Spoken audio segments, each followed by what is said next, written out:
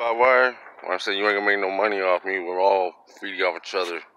Money is the energy we give off, so we're walking. We're walking. No trespassing, right? Going right up in here. We're feeding on all this stuff. Building all these buildings, all that stuff. Oh, we're gonna walk in the cactuses right now because we're feeding off each other. That that's the money, the uh, energy that you give off people. See, trees are dying. I'm saying all churches are evil. I'm saying um, all Masons are evil. Because we're all evil in a way. So we're walking down.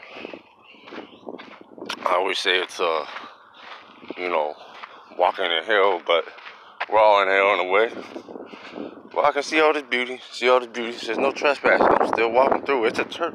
It says all there will be welcome. So we're just walking. See, it says no trespassing.